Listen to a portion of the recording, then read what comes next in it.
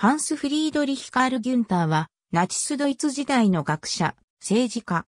ナチスお抱えの人種学者として、その人種政策、民族政策に多大な影響を与え、人種学の強行とあだ名された。帝政ドイツ化の自治国家バーデン大公国の首都フライブルクイム・ブライスガウで音楽家の子として生まれた。青年期に地元のフライブルク大学で比較言語学を学んでいたが、動物学や地理学などの講義を聞くうちに志を変え、1911年にフランスのソルボンヌ大学に転学して学び直し、最終的に博士号を授与された。同時期に勃発した第一次世界大戦に兵士として出征、不評連隊に従軍したがすぐに病気を患って除隊を宣告された。体の弱さから兵士としては不向きと考えられた。彼は赤十字社の活動で軍に貢献する道を選んだ。ヘルマン・ルンドボリ1919年、戦争が敗戦に終わった後に赤十字社を離れたギュンターは故郷に戻り、分泌活動に新たな人生の目標を求めた。彼は、騎士、死と悪魔、英雄女児史という著作で人種学的な側面から戦後起こりつつあった新しい形の国家主義勢力の思想を擁護しようと試みた。これがその新しい国家主義の典型であったナチス、そしてその指導者層に属していたハインリヒ・ヒムラーに大変な感銘を与えることになった。しかしすぐにギュンターがナチスに関わることにはならなかった。著作出版後、ギュンターはしばらくドレスデン博物館での勤務で生活費を捻出しながら、オーストリアのウィーン大学に通って人種学の研究を続けていた。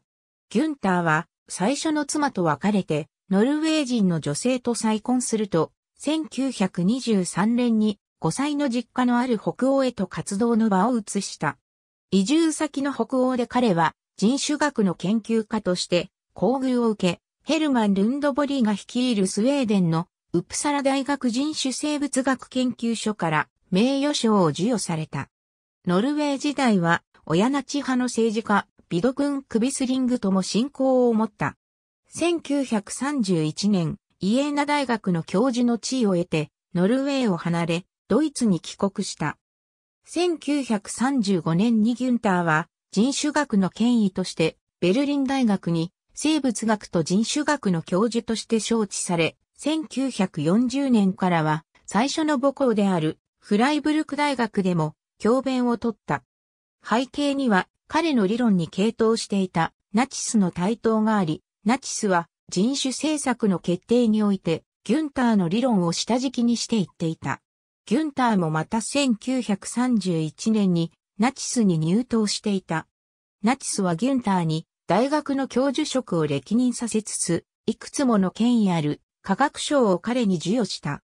その中にはアドルフ・ヒトラー自らが創設した芸術、科学で偉大な功績を残した人物に与えられるとしたゲーテメダルも含まれており、ナチスの当機関士はギュンターの学説をナチスの誇りとまで賛美した。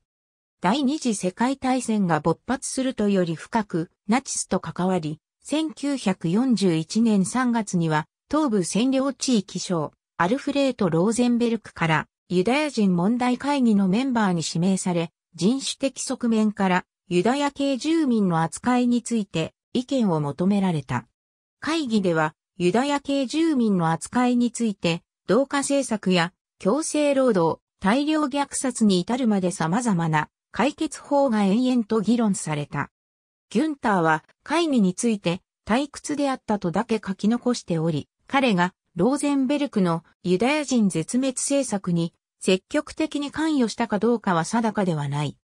とはいえ東ヨーロッパ人種の劣等論などナチズムのイデオロギー形成に多大な影響を与え、自らも恩恵を受けていたギュンターがナチスに無関係とは言い難かった。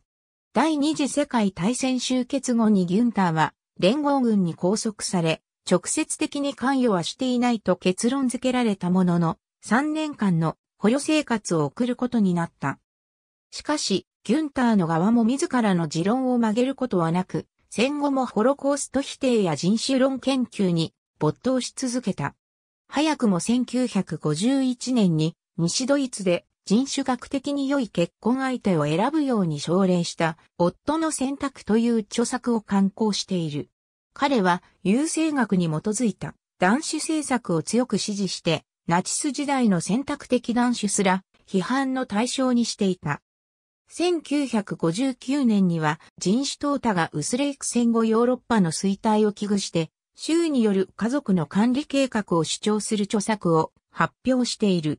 マディソン・グラントによる欧州における人種図。黄色が地中海人種、緑色がアルプス人種、赤色が北方人種とされた。オイゲン・フィッシャー・ギュンターの理論はおおむね当時流行していたノルディックイデオロギーに基づいている。彼の母校フライブルク大学の教授には、ドイツ人種学の大家で、ノルディックイデオロギーによる優生学を主張したオイゲン・フィッシャーがおり、ギュンターが影響を受けた可能性は高い。また、ギュンターはアメリカ合衆国のマディソン・グラントの理論も取り入れている。ヒトラーはグラントの偉大な人種の消滅を私の聖書と呼んで愛読していた。ギュンターは白人を北方人種、西方人種、東方人種、東バルト人種。このうち、西方人種と東方人種はより頻繁に用いられている地中海人種とアルプス人種の代替用語で定義はほとんど変わらなかった。ファリック人種は後の著作になるにつれて次第に棄却された。東バルト人種はアルプス人種の内東欧からロシアの住民を指したもので、ディナール人種はバルカン半島のアルプス人種を指した用語であり、ギュンター以前から用いられていた。彼の理論において、北方人種は主たる人種として欧州文明を築いた偉大な種族であり、ヨーロッパ史の優れた文明のすべてが彼らによって始められたとギュンターは強弁した。